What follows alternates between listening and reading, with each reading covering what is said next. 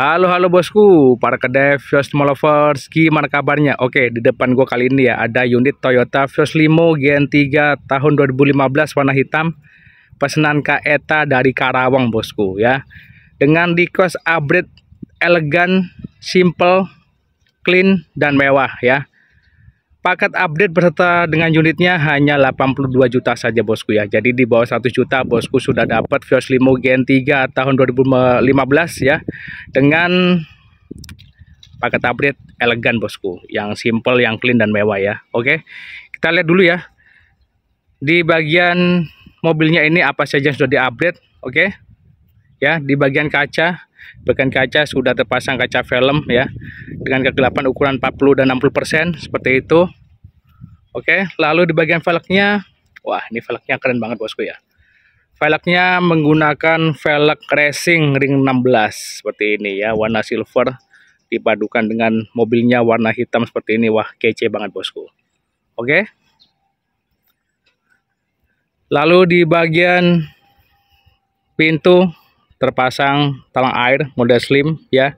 Yang seperti biasa gua pasang ya. Keren ya. Jadi mengikuti bentuk body ya. Seperti ini rata. Jadi tampilannya lebih elegan bosku ya. Keren ya. Oke lalu kita ke bagian belakang. Ini saya aduh kalau lihat peleknya nih cakep banget bosku ya. Oke lalu di bagian atas untuk antena ya sudah kita ganti ya dengan antena Sharkfin seri seperti ini. Ya keren Oke, lalu di bagian belakang sudah terpasang emblem Vios dan juga emblem G ya.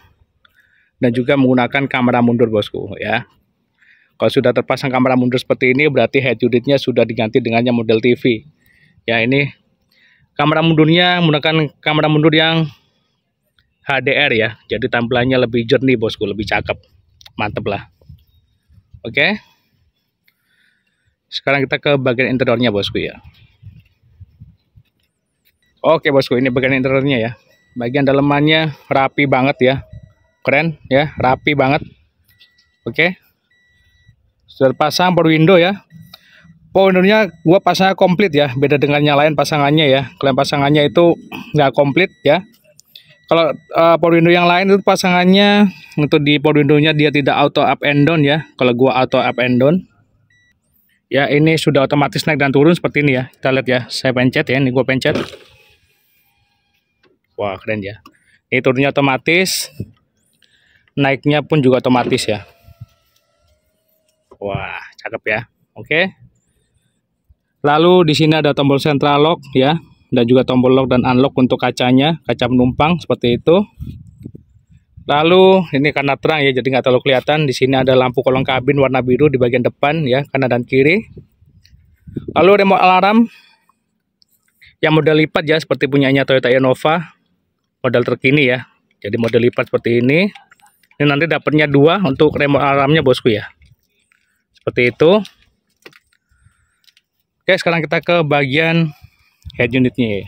Head unitnya sudah diganti dengan head unit Android bosku seperti ini ya. Head unit Android. Tinggal koneksi ke wifi aja melalui hotspot ya.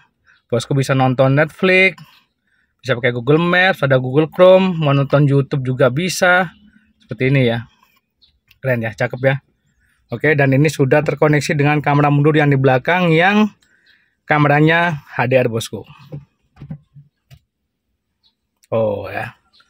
Kameranya jernih banget bosku ya. Nggak buram ya cakep ya. Mantep.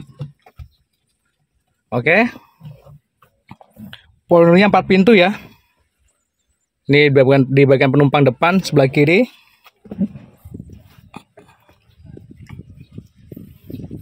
Kita ke bagian belakangnya ya. Bagian depannya aja rapi, tentunya bagian belakangnya juga rapi bosku ya. Power window 4 pintu di bagian penumpang ya, kanan dan kiri seperti ini ya. Terusnya rapi ya. Ya ke plafon ya, semuanya rapi, nggak ada sobek-sobek, nggak ada cakaran ayam, nggak ada cakaran kucing ya di sini ya. Semuanya rapi. Seperti itu bosku. Oke bosku, murah banget ya. Nggak nyampe 100 juta ya. Nggak nyampe 100 juta bosku sudah bisa punya mobil Vios Limo Gen 3 ya. Seperti ini tampilannya elegan ya, tampilannya simple, elegan, clean ya. mewah siap untuk nanti dipakai untuk lebaran kumpul sama keluarga buat ajang pamer nih cakep nih keren ya oke bosku ya info-info pemesanan langsung hubungi nomornya Simon Kedevers Limo yang ada di video maupun di deskripsi bosku ya. Dan tentunya payment aman ke rekening PT Bluebird TBK seperti itu. Gue masih ready unitnya ya. Harganya hanya 170 jutaan saja, bosku sudah bisa punya Toyota Vios Limo Gen 3 kondisi standar dan basic ya. Seperti itu untuk upgrade bisa menyesuaikan budget tadi bosku semua. Oke bosku, sekian dulu video dari gua. Gua tunggu orderannya. Terima kasih bosku, saya selalu dan just bosku.